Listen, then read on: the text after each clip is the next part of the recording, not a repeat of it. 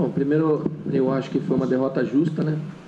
A gente fez por merecer. Eu acho que no primeiro tempo a gente começou muito mal, oferecendo o primeiro gol, tiveram oportunidade de mais duas, três, é, dois, três lances aí na cara do Neneca e a gente é, não soube se concentrar na movimentação do, do ataque do, do, Red Bull. E depois a gente pegou a pilha da torcida, né? A gente não conseguiu desenvolver aquilo que a gente tinha, tinha feito no último jogo, que é um time concentrado, focado, é, atento às, às movimentações do, do, adversário que veio com três atacantes. Né? E, e, quando a gente acordou, o jogo já tinha virado 1 a 0 Mesmo assim, a gente tem uma chance clara no primeiro tempo com o Diogo. A gente poderia ter saído é, com igualdade no placar. E no segundo tempo a gente tentou ajustar a equipe. Eu acho que a gente voltou com outra postura, fomos para cima, tivemos a chance novamente, clara, de gol com o Danilo, não fizemos o gol. E foi assim o segundo tempo todinho, né? Tentando sufocar o adversário, tentando fazer o gol e eles explorando os contragolpes, né? Isso é uma eles acabaram explorando bem. Já havia, já havia alertado que era um jogo perigoso, porque o time deles, embora não vinha ganhando, mas era um time de qualidade e que a gente tinha que estar atento a essa situação e, e a gente não teve focado como nós tivemos no jogo do Ituano. Então agora é, é conversar com eles, mostrar o que onde a gente errou, trabalhar para que a gente recupere esses pontos fora. Não tem outra alternativa, né? Em relação ao, ao, protesto da torcida, era o que elas, era o que a torcida queria. Jogou mal aqui dentro, perdeu, ela vai, ela vai cobrar mesmo.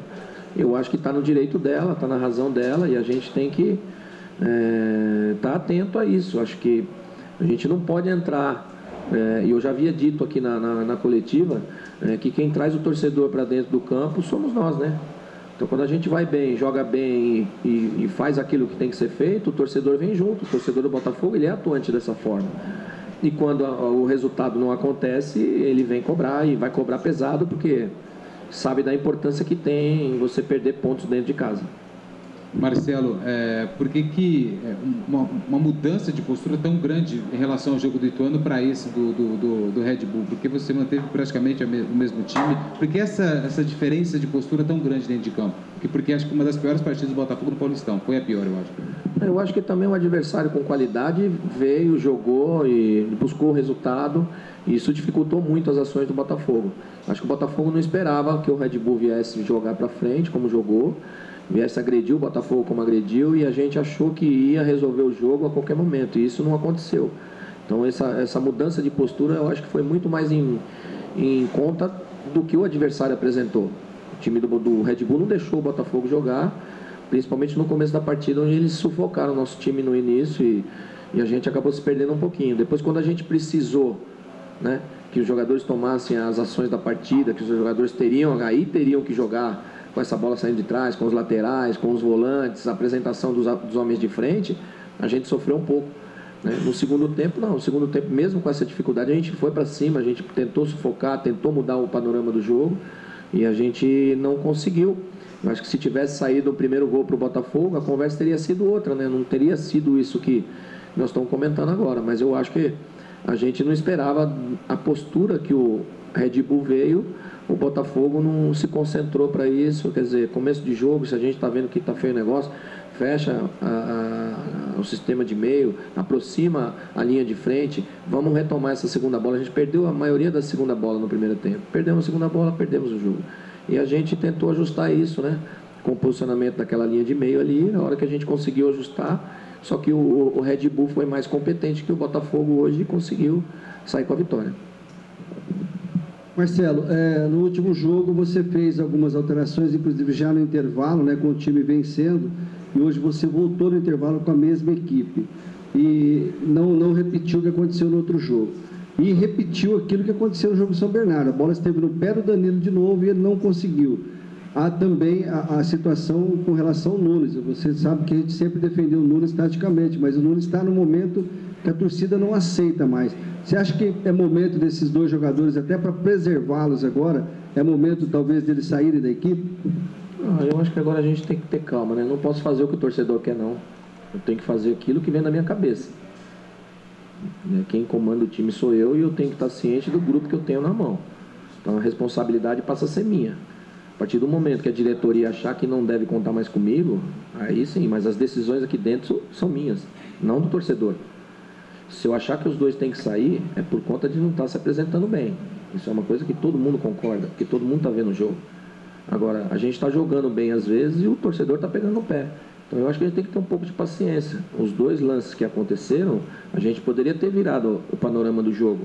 Também concordo. Né? Mas a gente tem que ter um pouquinho de calma para a gente não sair daquilo que a gente planejou e daquilo que a gente quer para o campeonato. Então, assim, é, às vezes a gente está tentando achar ainda o ideal para o time e hoje, quer dizer, ninguém falou que o Felipe estava machucado, que o Carlos Alberto ainda não está 100% de condições de jogar, né? É, que a gente tem poucas peças, eu não posso tirar um, um, atacante de referência porque eu não tenho outro, o atacante de referência que veio está machucado. Então eu acho que assim, é, a postura do time, ela continua a mesma. Né? O que os jogadores têm que fazer é assimilar essa responsabilidade. E eles são experientes o suficiente para assimilar isso. Eu acho que o momento de tirar ou de colocar vai ser consequência no decorrer da competição. Então, isso é uma coisa que a gente pensa, mas eu não posso ir para o lado do torcedor. Né? Eu tenho que ter consciência ali daquilo que a gente faz nos treinamentos, que é aquilo que a gente faz durante a semana, para fazer com que o resultado aconteça. Ele perdeu o gol porque ele estava lá, porque ele, ele trabalhou para a jogada chegar lá. Então talvez se a gente tivesse num momento diferente, tivesse, não tivesse com a pressão que tá, que, que, que foi no jogo de hoje, principalmente no primeiro tempo, talvez ele tivesse feito o gol e, a, e o jogo seria outro, né? Então é, é, é, isso que eu penso. Agora, de tirar ou colocar, a gente vai ver quem é que vai estar tá bem para entrar, quem é que a gente tem condições de jogo para resolver a partida. Hoje eu achei que o menino Léo entrou muito bem, né? Então, assim, é um, é um, é um garoto de 20 anos, 19, 20 anos, que está sendo lançado aos poucos. E hoje, a partir desse momento, ele já pode ter uma outra condição. Pode já começar, inclusive, como titular. Isso aí eu não, não tenha dúvida. Mas o Botafogo hoje, ele foi abaixo daquilo que a gente esperava, né? Mesmo assim, a gente trabalhou e criou oportunidades de gol, né? Então, eu acho que ah, o maior tempo de posse de bola no segundo tempo foi do Botafogo. O Red Bull foi inteligente o suficiente em jogar nos contragolpes para matar o time, como matou no final da partida. Né? A gente não, com três, três jogadores para conter a jogada, a gente deixou o cara sair da lateral do campo e saiu o gol lá na frente. Então, eu acho que assim, é, agora é, é calma, paciência, porque as mudanças elas vão acontecer com naturalidade, né? de uma maneira ou de outra elas vão acabar acontecendo. Infelizmente eu também acabei até perdendo o Diogo, que ele sentiu as costas, né? É, não era para ter feito aquela troca, mas ele, ele acabou sentindo e pediu para sair. Eu não tive como falar não, porque se a gente perde o Diogo também, aí eu, aí eu só teria o Serginho de, de atacante de, de velocidade, né? O Mike ainda não. O, o Mike, Mike não, é o Wesley ainda não, não documentação ainda não estava pronta, né? Eu acredito que no final de semana sim, mas ainda não está. E a gente ficou sem mais jogadores liberados. Veiga, você citou aí que o homem de referência está machucado, que é o Stefano Yuri. É. E o Nunes está suspenso para o próximo jogo receber o terceiro cartão amarelo. É, onde encontrar no elenco um jogador que possa fazer essa função do Nunes? A gente, tem, a gente treinou com, com o Léo e a gente trabalhou essas duas situações. Tanto o Léo como o Alan são os dois jogadores que acabaram fazendo esse trabalho é, de referência ali, né? Então, acredito que um dos dois deve fazer no, na próxima partida né, esse papel de, de um homem um pouquinho mais à frente, né? Como disse para ele, o Léo já já está em condições de entrar jogando, já tem a possibilidade de entrar como titular.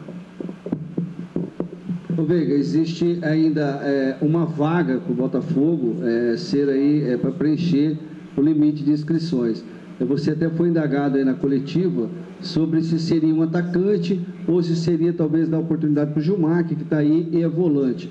Nessa característica que você falou agora há pouco, você tem, ainda está com carência de jogadores para frente. Você acha que agora é o momento do Botafogo investir nesse atacante para poder reforçar o setor? Sim, a gente está em busca disso, né? Está encontrando dificuldade de achar um cara com essa condição e essa característica, mas a gente está em busca disso. Por isso que a gente não, não preencheu essa vaga ainda.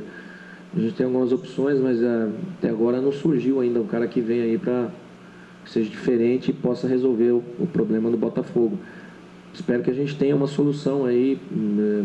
O presidente conversou uma situação, de repente pode ser que essa situação apareça de uma maneira que ninguém espera e a gente ganha um reforço aí bom. Mas a gente depende dos outros, então temos que aguardar para saber. Até sexta-feira a gente tem essa possibilidade, com certeza deve chegar mais um, mais um atleta aí. Veiga, é, você na, na, semana falava que ainda brigava aí por uma possível classificação. Hoje os resultados, o Linense venceu, o pessoal do grupo deu um salto aí o Botafogo acabou ficando para baixo. Já muda o posicionamento de pensar em primeiro se manter para depois pensar em classificação? Não, não, eu acho que não. Acho que tem muito jogo ainda. Mesmo assim, a gente perdendo em casa, tem, tem jogo demais. Você pode ver, um jogo mudou muito a situação do Botafogo. Então, assim, vitórias nessa, nessa fase agora né, são importantíssimas. Quando a gente vai para Rio Claro, a gente vai para lá para buscar a vitória, como a gente sofreu a vitória aqui. Então, não, acho que não vai mudar nada a postura do Botafogo, né? Isso vai servir de lição para que a gente corrija e, e melhore a qualificação ali do meio para frente. A gente estava muito preocupado em melhorar essa linha de frente ali. A gente conseguiu ajustar essa linha de frente no jogo passado, mas nesse jogo não funcionou pouco. Quer dizer, ainda mesmo assim funcionou, porque tivemos alternativas, né? Mas a gente não conseguiu fazer gol. E eu espero que a gente consiga nos próximos jogos, porque são jogos difíceis, não vai ter jogo fácil. Para o Rio Claro não vai ser fácil, para o Botafogo muito menos. Então a cada partida é uma decisão. Nós perdemos essa, mas não acabou. Tem mais, é, se eu não me engano, mais nove, dez jogos aí. Então a gente sabe que a gente está tá precisando de resultados. Esses resultados agora a gente tem que buscar fora de casa.